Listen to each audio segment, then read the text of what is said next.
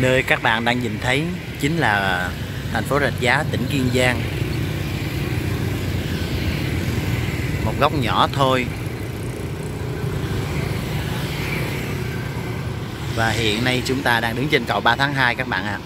Và kính thưa quý vị và các bạn, à, nếu nhắc đến thành phố Rạch Giá thì chúng ta không quên nhắc đến à, cổng Tam Quan cũng như là à, khách sạn Silai và đây các khách sạn Sila là một trong những tòa nhà à, tòa khách sạn à, có nhiều tầng nhất đầu tiên ở tại Rạch Giá. Và cũng từng là một trong những điểm nổi bật nhất của thành phố Rạch Giá. Và kế bên đấy thì sau này người ta sẽ xây thêm ờ, Vincom. Nơi chúng ta đang đứng chính là cầu 3 tháng 2 một trong những cây cầu à, nối giữa đôi bờ. À, phía bên đây là bên à, chúng ta đang hướng đến chính là khách sạn Hòa Bình Rạch Giá Resort. Nói dài qua cầu bên đây. Đối diện chính là khách sạn Palace Hotel. Hay còn gọi là khu 16 hecta một trong những uh, khu dân cư trung cấp. Có những căn nhà đẹp nhất đầu tiên tại thành phố Rạch Giá.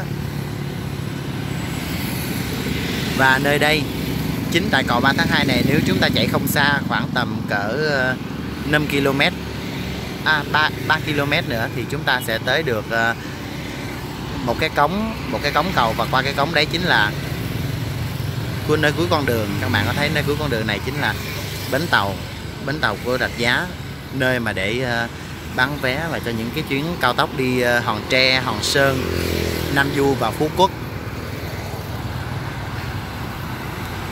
Và cũng chính nơi đây là cửa sông lớn nhất tại thành phố Rạch Giá.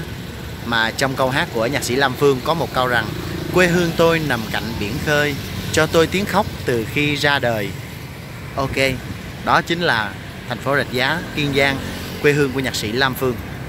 Mà trong bài hát đường về quê hương, nhạc sĩ có đôi câu nhắc đến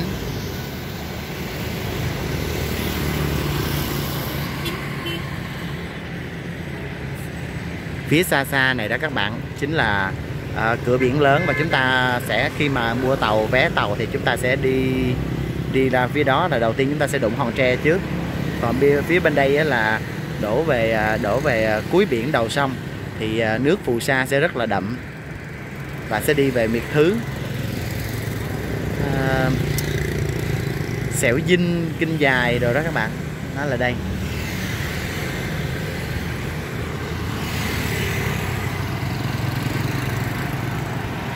Đây là một trong những con đường uh, huyết mạch uh, theo theo khoảng dữ liệu của 3 tới 5 năm nay thì đây là một trong cầu 3 tháng 2 và cũng như là đường 3 tháng 2 là một trong những cây cầu huyết mạch của thành phố Rạch Giá. Nơi tập trung rất là nhiều khu ăn chơi ăn uống và nghỉ dưỡng cũng như khách sạn và những cái ngân hàng.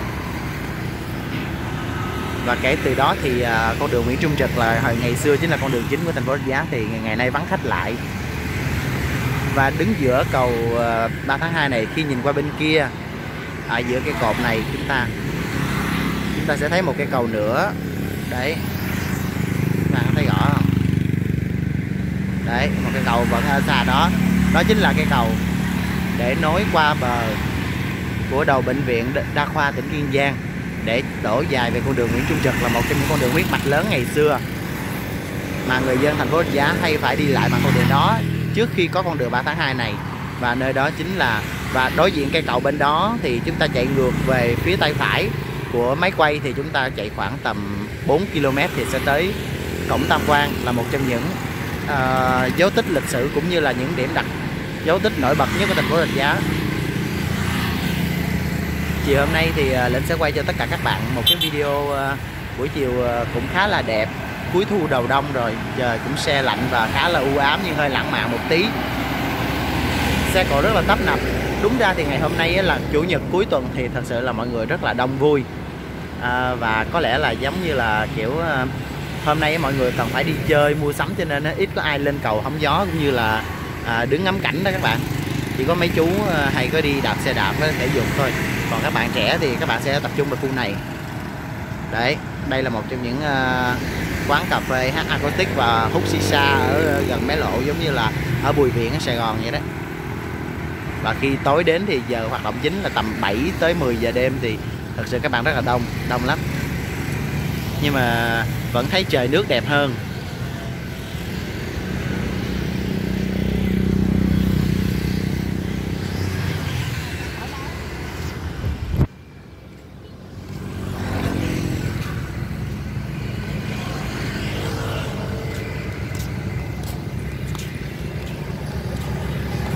Hello xin chào tất cả mọi người. Và chiều hôm nay thì Lĩnh sẽ đem mọi người đến một cái video uh, nho nhỏ thôi tầm 5-7 phút nhưng mà chúng ta sẽ cùng ngắm một cái khung cảnh buổi chiều ở tại thành phố Rạch Giá. Tại cầu 3 tháng 2 trên con đường 3 tháng 2 và rất là mong uh, các bạn sẽ yêu thích và like video này cũng như là đăng ký kênh ủng hộ Lĩnh nhé. À, các bạn nếu mà đăng ký like kênh rồi thì các bạn nhấn luôn cái chuông đi để nhận những video thông báo mới nhất về nước hoa cũng như là à, những cái gì mà hữu ích về cuộc sống Linh sẽ chia sẻ lên kênh nhé. Cảm ơn tất cả mọi người. Chúc mọi người có một buổi chiều chủ nhật vui vẻ nè. Bye bye.